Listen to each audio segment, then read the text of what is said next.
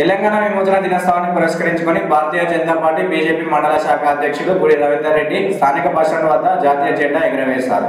ఈ సందర్భంగా బీజేపీ మండల అధ్యక్షులు రవీందర్ రెడ్డి మాట్లాడుతూ భారతదేశానికి వర్తకం కోసం వచ్చిన ఆంగ్లేయుల నుండి దేశానికి పంతొమ్మిది వందల నలభైలో స్వాతంత్రం వస్తే రజాకాల పాలనలో ఉన్నటువంటి తెలంగాణ మరియు మహారాష్ట్రలోని కొంత భాగం కర్ణాటకలోని కొంత భాగం స్వాతంత్రం రాలేదని ఉక్కు మనిషి దేశ ఉప ప్రధాని సర్దార్ వల్లభాయ్ పటేల్ చొరవ తీసుకుని సంస్థానాలను అన్నింటినీ ఏకం చేసి తెలంగాణ ప్రజలను రజాకాల పాలన నుండి సెప్టెంబర్ పదిహేడు పంతొమ్మిది వందల నలభై ఎనిమిది విమోచనం కలిగించిన రోజు అని అన్నారు. ఈ కార్యక్రమంలో చొప్పదండి నియోజకవర్గ జాయింట్ కన్వీనర్ ఉదార నరసింహాచారి బీజేపీ మండల ప్రధాన కార్యదర్శి ఎడపల్లి పరశురాములు దళిత మోర్చా మండల అధ్యక్షులు సుంకపాక ప్రభు కిసాన్ మోర్చా మండల అధ్యక్షులు అమిరిశెట్టి గంగయ్య మండల ఉపాధ్యక్షులు బోగోజీ గంగాధర్చారి బీజేపీ నాయకులు కార్యకర్తలు పాల్గొన్నారు.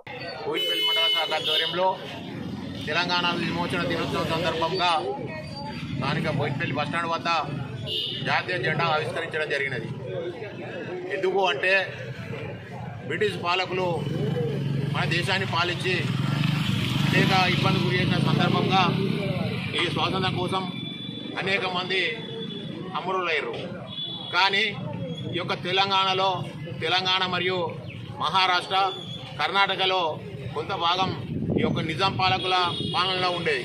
అప్పుడు నిజాం పాలకులు పాలనలో అనేక మంది మహిళలపై అత్యాచారం జరిపి చంపివేసిన సందర్భంగా అదేవిధంగా చాలా మందిని చిత్రములకు గురి చేసి చంపడం జరిగింది.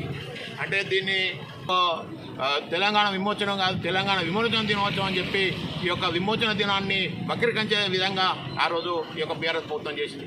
అదేవిధంగా ఇప్పుడు ఉన్నటువంటి ఈ యొక్క కాంగ్రెస్ ప్రభుత్వం అధికారానికి వచ్చి ప్రజలకు అనేక మాటలు చెప్పి మోసం చేసినటువంటి కాంగ్రెస్ ప్రభుత్వము ఈరోజు తెలంగాణ విమోచన దినోత్సవం కాదు ఇది ప్రజాపాలన దినోత్సవం. ప్రజాపాలన దినోత్సవం ఎక్కడ ఉన్నదో ఈ యొక్క కాంగ్రెస్ ప్రభుత్వానికి తెలియాలి ఆ రోజు ఉన్నటువంటి ఈ బీఆర్ఎస్ ప్రభుత్వానికి వ్యతిరేకంగా ఈ యొక్క కాంగ్రెస్ అధికారం లేనప్పుడు మాట్లాడినటువంటి ఈ యొక్క కాంగ్రెస్ ఇప్పుడు అధికారానికి వచ్చిన తర్వాత ఇక తెలంగాణ ప్రజాపాలన దినోత్సవం అని చెప్పి చెప్పుకోవడము ఇది ఏమైనా చర్య?